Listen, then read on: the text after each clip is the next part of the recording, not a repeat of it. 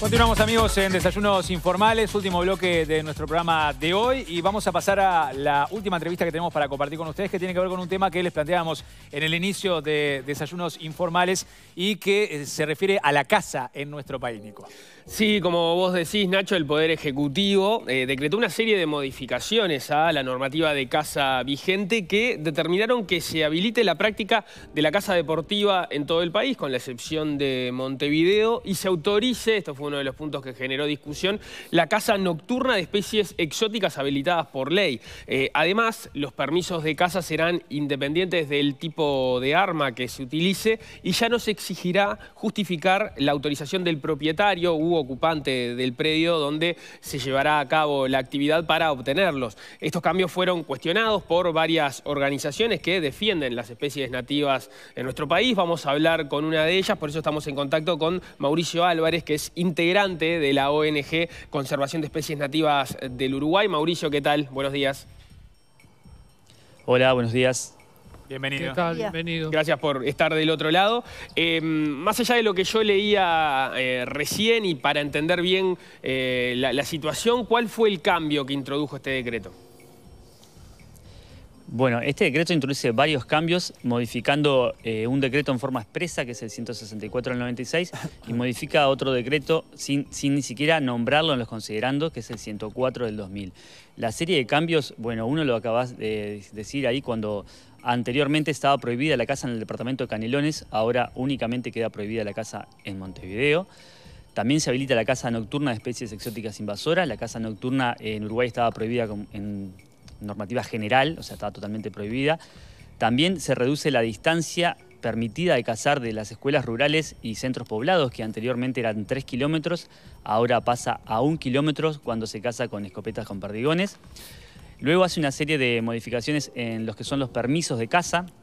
Por ejemplo, el ciervo axis, eh, especie exótica invasora, tenía permisos de 15 días que eran para 5 machos adultos, ahora los extienden a 365 días a cada permiso, o sea, un año, y habla de 5 hembras y 5 machos, o sea que estaría liberando lo que son las hembras y los ejemplares juveniles y crías de esta especie.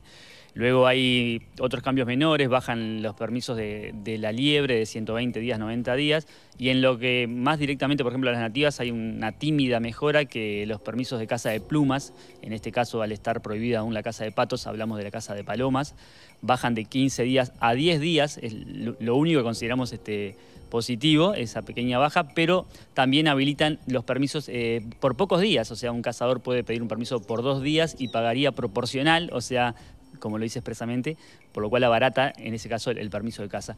Y lo otro que tampoco es menor, que también lo nombrabas al aire, es que de los pocos, por no decir el único control que se hacía eh, a nivel ministerial de la casa, era a la hora de otorgar el permiso, porque para otorgar un permiso se exigía contar con eh, la aprobación del propietario o ocupante legal del predio para poder cazar ahí y a su vez con la documentación de las armas que se iban a, a utilizar. Eso expresamente el decreto dice que no se podrá exigir eh, lo del propietario y que el permiso de caza es independiente de las armas, o sea que eh, ese control eh, previo que había ya no, no se hace. Obviamente el cazador necesita para poder cazar el permiso igual y contar con armas en, en regla. Sí, ahí, ahí está, un, un, punto, de... un, punto, sobre eso, sí. Mauricio, porque me quedaba la duda.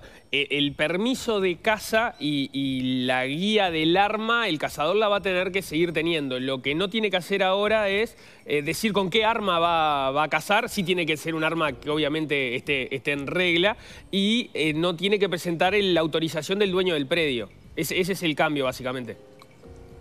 Correcto, o sea, eh, lo va a precisar igual, o sea, si no estaría ingresando propiedad privada, o sea, yendo contra la Constitución y con todo lo que implica ¿no? legalmente eso. Lo mismo con las armas. Pero como recordemos que la casa se da campo adentro, donde el Estado no está. Entonces, este era un control previo.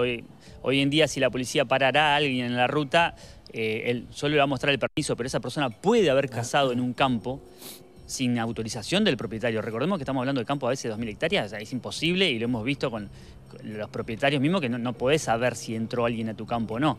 O sea, se está dando ahí una, una libertad, una mayor flexibilización y, ojo, no es menor los considerando, ¿no? La fundamentación de este decreto que es, hay un fomento a la casa. O sea, el decreto mismo habla de, en el, en el resultando 4 y en el 5, perdón, y en el 6, de potenciar la casa como, como actividad turística. Mauricio, ¿qué ven ustedes en el trasfondo del, trasfondo de todo esto? O sea, ¿qué es lo que les preocupa a ustedes? Que ah, mencionás que hay un fomento a la casa. Tiene que ver también con, un tema de, estos animales en particular. Este, y otra cosa que, a priori me llama la atención es lo de la casa nocturna, este, que, también ha generado este, cuestionamiento por parte de, ustedes y el riesgo que eso puede implicar también, ¿no?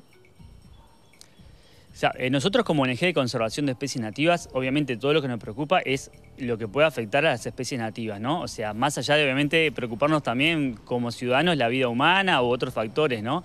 Pero nuestro objeto social es las nativas. De ahí lo que nos preocupa es que hay un fomento a la caza. Y en el fomento de la caza, o sea, los cazadores en nuestro país, por la ausencia de control, basta ver las redes sociales, eh, se cazan especies nativas, o sea, tras el jabalí como excusa, se cazan especies nativas. Y habilitar la caza nocturna ahora ya de manera legal, meter esas jaurías de perros que sabemos el daño que, generan directo o indirectamente sobre los ecosistemas, ahora ya de manera legal. O sea, nos preocupa justamente que se trate a la caza en Uruguay como una actividad turística a fomentar cuando a nivel mundial es una actividad que está retrocediendo, ¿no? O sea, crecen las actividades amigables con el medio ambiente que incluso dan, más recursos y retroceden las actividades, este tipo de actividades y en Uruguay parece que vamos a contramanos. Y no es menor otra preocupación que tenemos, que en este nuevo Ministerio de Ambiente, eh, que podrá tener las mejores intenciones pero no tiene los recursos, y eso está claro, eh, sigan pasando estas cosas, porque este decreto carece de, tiene algunos descuidos jurídicos, por decir una forma, que nos hace pensar que no fue redactado desde el Ministerio. ¿Por qué? Como te digo, hay, una modificación tácita, bueno, hay una modificación tácita al decreto 104 que no la nombran. Eh, esta modificación bien hecha tendría que haber modificado dos decretos en forma separados y no uno solo, porque están introduciendo en el decreto 164 elementos de permiso de casa que no estaban nunca, o no estaban en ese decreto, porque estaban en otro. Y lo están metiendo en el 164. O sea, esto vino obviamente una presión, seguramente de cazadores. Ayer hablé de noche con el presidente de la Asociación de Cazadores que me llamó por teléfono. O sea, obviamente contento por decirlo él con, esto, nosotros todo lo contrario. Que nos, pasa, nos pasó lo mismo que con la LUC. Cuando pasaron los artículos de las áreas protegidas con la LUC, ¿recuerdan? Fueron artículos que nadie se los esperaba y que, sin poderlo comprobar, pareciera que atienden intereses particulares. Acá la fundamentación que, muchos dan es que las especies exóticas, hablan de las especies exóticas como fundamentación. No está en la fundamentación del decreto, en ningún momento nombra problemática de especies exóticas. O sea que está claro que esto viene como un fomento flexibilizar la casa, fomentar la casa. Pero el decreto se refiere a especies exóticas, es, específico, digamos. Es decir, yo lo que entiendo es que ustedes ven que no hay los controles para asegurar que se, uno se limite a eso, pero el decreto refiere a especies exóticas. Eh, refiere en el contenido, este, pero vos cuando tomás, eh, cuando vos tomás una decisión de sacar un decreto, lo que tenés que fundamentar, si el, si el problema era la especie exótica, tiene que estar en la fundamentación en la fundamentación tiene que estar la problemática de las especies exóticas y por eso tomás la medida del decreto. En este caso la fundamentación no nombra una problemática de especies exóticas, o sea, solo nombra, como te digo, dos puntos que son el turismo, la casa como potencial turístico y la casa como potencial, eh, es más, el decreto dice la casa debidamente controlada como potencial de recursos económicos para el país. Y no hay una casa debidamente controlada en nuestro país, todo lo eh, contrario. ¿Cuáles son los controles que eh, faltan puntualmente? Y o sea, faltan controles, eh, te puedo decir, en turismo yo pasé por el Uruguay con perros y nunca me pararon en turismo. O sea, eso yo era, obvio me tendría que haber parado si yo ando en una camioneta con perros en semana de turismo. O sea, faltan controles, eh, en este caso los previos y después eh, los que tiene que hacer la policía en ruta, la caminera.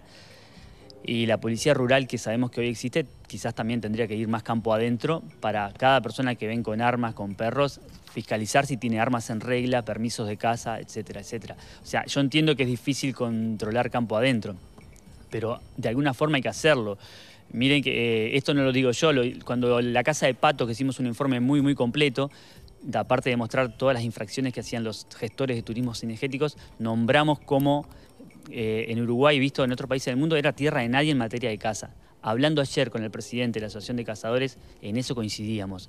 Uruguay está visto en el mundo como un país que tiene ausencia de control en cuanto a la gestión de la fauna. Y me lo dijo, como te digo, el propio presidente de la Asociación de Cazadores ayer, que él también comparte que tendría que haber más controles. Entonces, en ese contexto de ausencia de control, estamos dando más flexibilidad y más este, liberación. Es muy fuerte. ¿Ustedes saben cuántos inspectores tiene la dirección de, fauna del ministerio? No, cuántos no, pero sí son, te diría que uno o dos, y mismo en turismo no había, no había ninguno de, guardia. Bien. O sea, la semana que más se da la casa en Uruguay. Mauricio este, Álvarez. Los recursos no, sí.